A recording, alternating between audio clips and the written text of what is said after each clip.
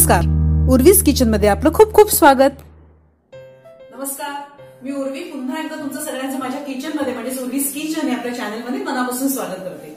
मित्रांनो दिवाळी जवळ येते आणि घरोघरी भाजणीचे रवा भाजण्याचे बेसन भाजण्याचे मस्त सुगंध दरवळत. आहे आणि आपण सगळेच अगदी आतुरतेने दिवाळीची वाट पाहतो दिवाळीच्या पदार्थांमध्ये घरोघरी सगळ्यात पहिला पदार्थ जर कुठला संपत असेल ना तर तो आहे चकली. बरोबर ना? परंतु काय गंमत आहे ना या चकलीची? की काही जणांना चकली अत्यंत उत्तम जमते. परंतु बऱ्याच जणांना चकली ही एक भानगड वाटते. हो? म्हणजे तसं काही नाहीये. भानगड म्हणजे चकली करताना तिच्या साहित्यात किंवा कृतीमध्ये जरा देखील उन्नीस वीस इकडचं तिकडे झालं ना तर चकली पूर्णपणे बसते. आणि त्यानंतर जो काही मनस्ताप होतो त्याचं वर्णन मी आत्ता इथे न केलेलंच होतं म्हणून मी आज तुम्हाला दाखवणार आहे बिना भाजणीची परंतु तितकीच चविष्ट आणि खुसखुशीत होणारी चकली. आणि ही चकली आपण कशापासून करतोय? ते जर तुम्हाला पाहायचं असेल तर आत्ता वेळ दौडूया नको आणि लगेच आपल्या कामाला लागूया आणि हो आजच्या आपल्या रेसिपीमध्ये आणखीन एक खास गोष्ट आहे. ती पण मी तुम्हाला सांगणार आहे. चला तर मग साहित्य आणि कृती पाहूया. साधारण अठरा ते वीस मध्यम आकाराच्या बिना भाजणीच्या आणि शक्यतो कधीही न बिघडणाऱ्या या चकलीचं साहित्य आता आपण पाहूया. आपण घेतो एक वाट्या डाळं किंवा रोस्टेड चणा किंवा पफ्ड चणा म्हणू शकतो आपण जे आपल्याला चणा शेंगदाण्याच्या दुकानात मिळतं. चार वाट्या तांदळाचं पीठ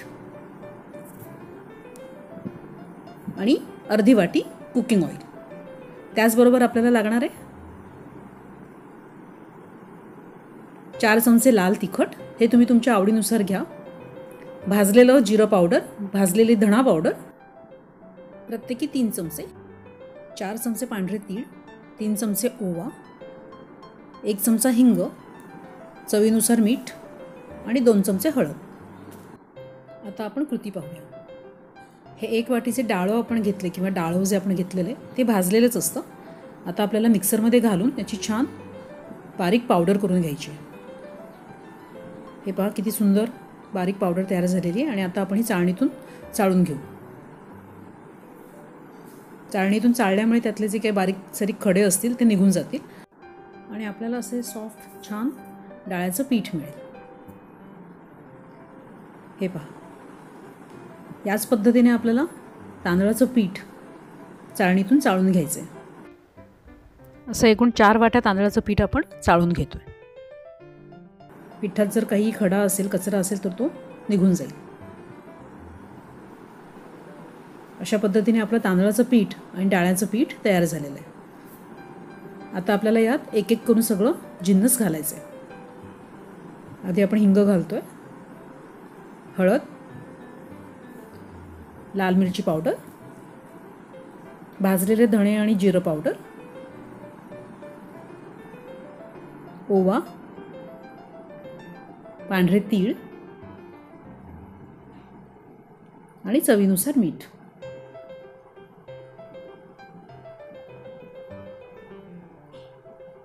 आता हाताने हे सगळं जिन्नस एकत्र करा.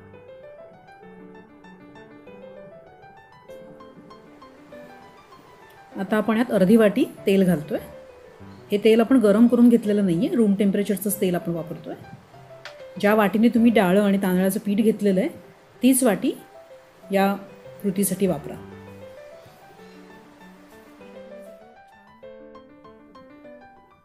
तेल आपल्याला सगळं छान पिठाला लावून घ्यायचं आहे पिठाच्या प्रत्येक कणाला तेल लागलं पाहिजे. तुम्ही पाहू शकता. आता रंग देखील बदलला आहे आणि आता आपण यात थोडंसं कोमट पाणी घालून हे पीठ आपल्याला मळून घ्यायचं आहे पाणी खूप जास्त कडक घेऊ नका कोमट पाणी पुरेसं आहे. आणि एक साधारण आपल्याला अडीच ते तीन वाट्या पाणी लागेल. तुमच्या तांदळाच्या पिठाची ज्याप्रमाणे क्वालिटी असेल त्यानुसार पाण्याचं प्रमाण हे कमी जास्त होईल. आणि आता हाताने आपण छान पीठ सगळं असं मस्त मळून घेऊ. खूप जास्त घट्टही नाही करायचं आपल्याला हे पीठ आणि खूप जास्त मऊही नाही करायचं हे पहा अशा पद्धतीने.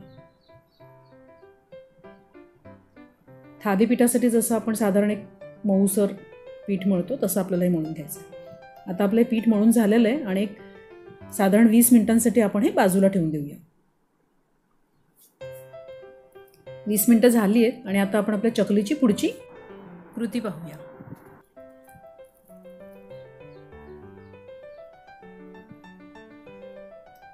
हा चकलीचा साचा मी घेतला आहे आणि या साच्याला मी आता आतून तेल लावून घेते. त्यामुळे चकल्या सहज पडतील.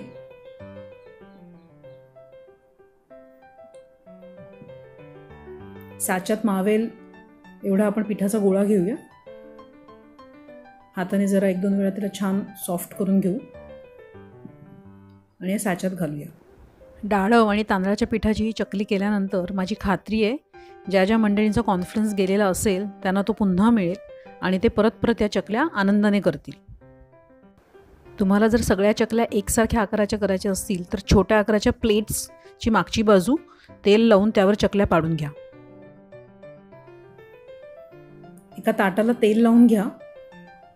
किंवा बटर पेपर असेल तर बटर पेपर ठेवा आणि आपण यावर आता आपल्या चकल्या पाडून घेऊ. मी पाहू शकता पीठ खूप छान मळलं गेलं आहे त्यामुळे चकली अगदी सहज साच्यातून पडते. स्मूथली एकदम. साधारण एक मध्यम आकाराची आपण चकली पाडून त्याचं शेवटचं जे टोक आहे ते चिकटवून टाकू. अशा पद्धतीने. मी पाहू शकता आपल्या चकल्या पाडून झालेल्या आहेत. आणि आता आपण चकल्या तळून घेऊ. मी इथे मध्यम आचेवरती कढई ठेवली होती आणि खानदेश ऑइल्स यांचं नैसर्गिक पद्धतीने लाकडी घाण्यावर काढलेलं शेंगदाणा तेल मी आता वापरणार आहे आपल्या चकल्या तळण्यासाठी. कुठलीही रासायनिक प्रक्रिया न झाल्यामुळे तुम्ही पाहू शकता तेल दाटसर आहे. मी पहिल्यांदाच हे तेल वापरते त्यामुळे माझा अनुभव मला तुमच्याबरोबर शेअर करायला नक्की आवडेल. तुम्ही पाहू शकता तेल गरम झालं आहे परंतु ते अजिबात उडत नाही आहे आणि या शेंगदाण्याच्या तेलाचा खूप छान असा नैसर्गिक सुवासही सुटला आहे पलितेच्या सहाय्याने आपण चकली आता तेलात सोडली अलगत तुम्ही पाहू शकता चकली तळली जाते परंतु तेल अजिबात आजूबाजूला कुठेही उडत नाही आहे एक साधारण तीन ते चार मिनटं मध्यम आचेवरच आपल्याला चकल्या तळून घ्यायच्या गोल्डन ब्राऊन अशा रंगावर. शेंगदाण्याच्या तेलाचा असा खूप छान सुगंध दरवळतोय. आणि ती चव देखील आपल्या चकलीमध्ये उतरणार आहे.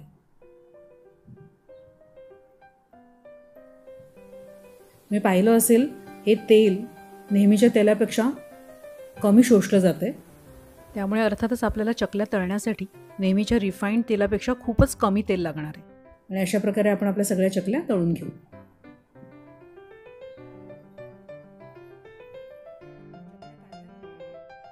चकल्या काढल्यानंतर टिश्यू पेपरवर ठेवा. त्यातलं अधिकचं ऑइल निघून जाईल. मस्त खमंग झालेल्या आहेत आपल्या चकल्या. मित्रांनो पाहिलं ना? आता चकली करताना अजिबात टेन्शन घ्यायचं नाही. डाळ आणि तांदळाचं पीठ यापासून झटपट चकल्या करायच्या आणि यावेळेला दिवाळीचा आनंद लुटायचा मित्रांनो आजच्या आपल्या रेसिपीची एक खास गोष्ट तुमच्या लक्षात आलीच असेल. आज मी पहिल्यांदाच चकल्या करण्यासाठी कुठलंही रिफाईन तेल वापरलेलं नव्हतं.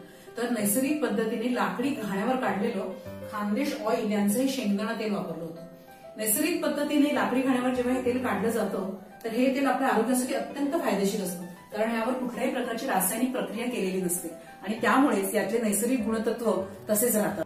आणि यात कुठल्याही प्रकारचे हानिकारक केमिकल्स नसतात. या तेलाच्या नियमित वापरामुळे शरीरातलं चांगलं कोलेस्ट्रॉल वाढीस लागतं. त्याचप्रमाणे ब्लड प्रेशर आणि ब्लड शुगरवर देखील कंट्रोल राहतो. शुद्ध तेलामुळे पचनसंस्थेचं आरोग्य देखील सुधारतं. म्हणतात ना जुनं ते सोनं.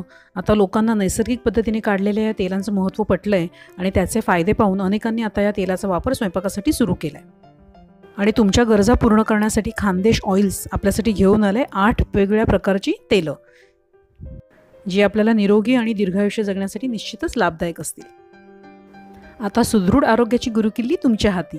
ऑर्डर प्लेस करण्यासाठी डिस्क्रिप्शन बॉक्समध्ये दिलेल्या नंबरवर संपर्क साधा आणि घरपोच डिलिव्हरीचा लाभ घ्या. मित्रांनो मी तर आजपासूनच सुरुवात केली आहे. तुम्हीही करा. खानदेश ऑइल्स लाकडी घाणा शुद्ध तेल एकदा नक्की वापरा आणि तुमचा अनुभव आमच्याशी शेअर करा. झटपट आणि रुचकर रेसिपीज पाहण्यासाठी पूर्वीच किचनला सबस्क्राईब करा आणि बेल आयकॉनचं बटन क्लिक करा.